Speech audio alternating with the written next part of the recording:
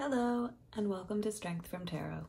I'm Jackie, and today I'm going to be sharing my top five tarot decks I've used during COVID 19. So let's get into it. So, this is by no means in any order.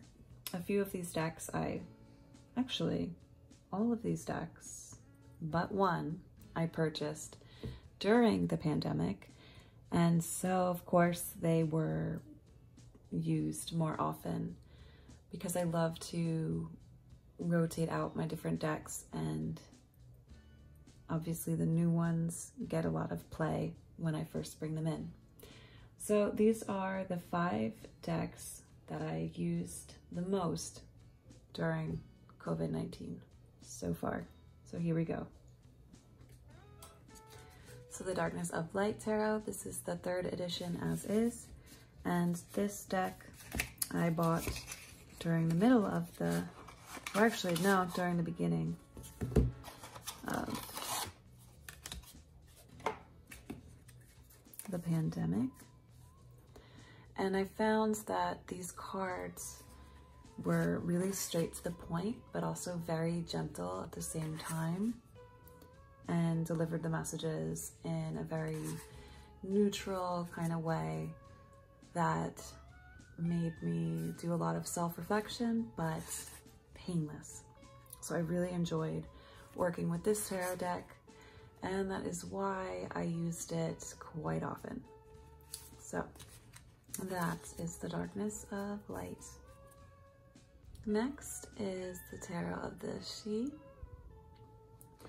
And this deck was another one that I purchased and I had fun with the deck mod on this. I actually trimmed the side borders and edged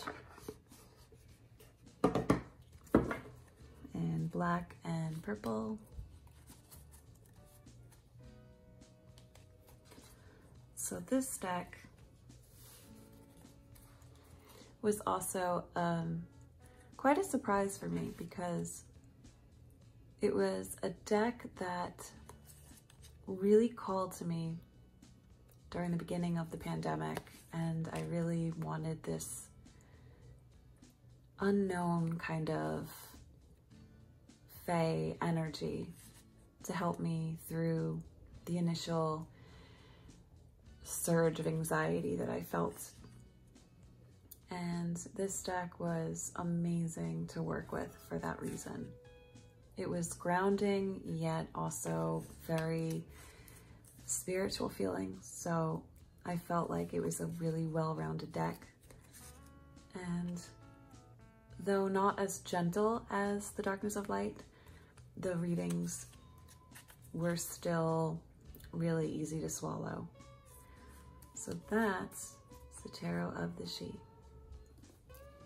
Next was the Hoodoo Tarot. And this deck I purchased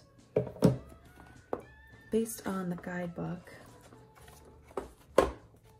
by Tayannah Lee McQuillar. It is so juicy, but I've shown this a bunch of times, so I'm just gonna get right into the cards. And I found that these cards were perfect, especially with connecting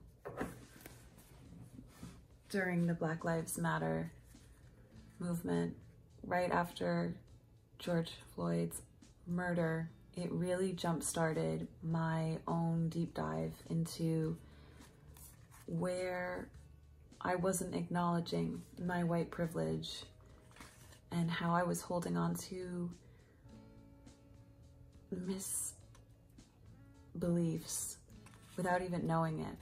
There was a lot of eye-opening for me and it's taken me on this amazing journey of self-discovery and finding where my true passion comes from in standing and aligning with being part of the change, you know, and doing what I can with talking to my family and becoming active in my community.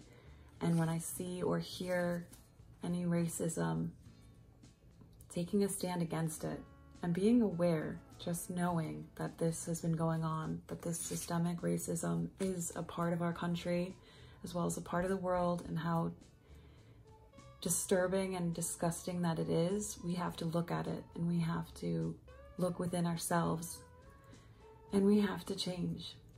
So the stack really was helpful for connecting with that and it was an integral deck that I've been working with. So that is the Hoodoo Tarot.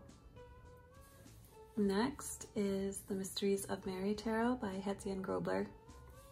And this deck is my number one hug deck. So of course, in facing all of those issues that I mentioned earlier and unpacking a lot of shit, I really needed to also make sure to take care of myself and nurture myself. And this deck is the one that I turn to for that. Because this deck I have such a connection with.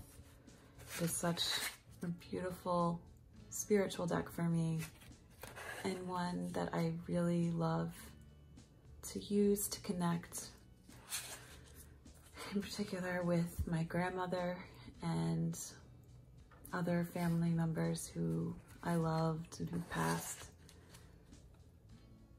And it's just a really deep deck for me. And especially with between the COVID, facing my inner shadows, and going into one of my darkest depressions yet, this deck really helped me. Because it's a lot of stress and pressure that we're all facing and we don't know when the end is gonna come for the virus. So that is my hug deck. This is my treasured The Mysteries of Mary Tarot. And finally, Dust II Onyx by Courtney Alexander. Now this deck was on my wish list and on my allowed to buy at some point this year. So I was really happy when I was able to get the funds aside and get this beautiful deck. And ooh, wow, the synchronicities. The synchronicities that I get when reading from this deck, as far as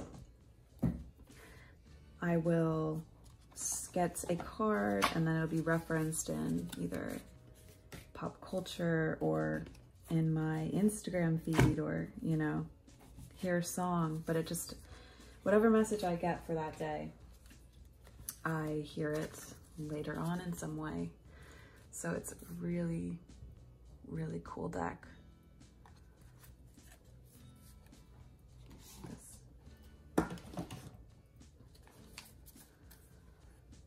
and like the Hoodoo Tarot.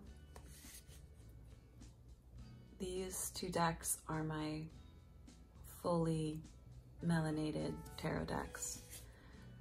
And I'm only kicking myself for not having gotten them sooner.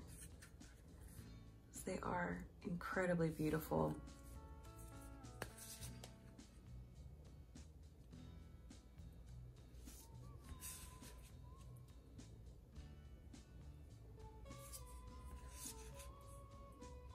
and there's so much depth and strength in these cards.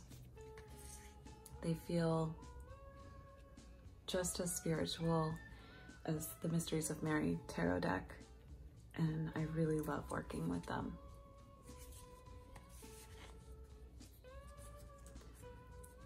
And they're a good reminder to keep doing the work, keep unpacking, all that bullshit.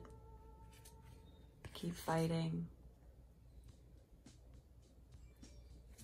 and keep moving forward. So that was Dust II Onyx and my final deck that I'm sharing today.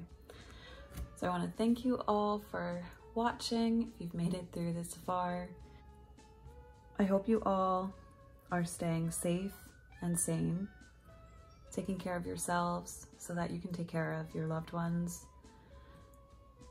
And I will catch you all in the next one. Take care.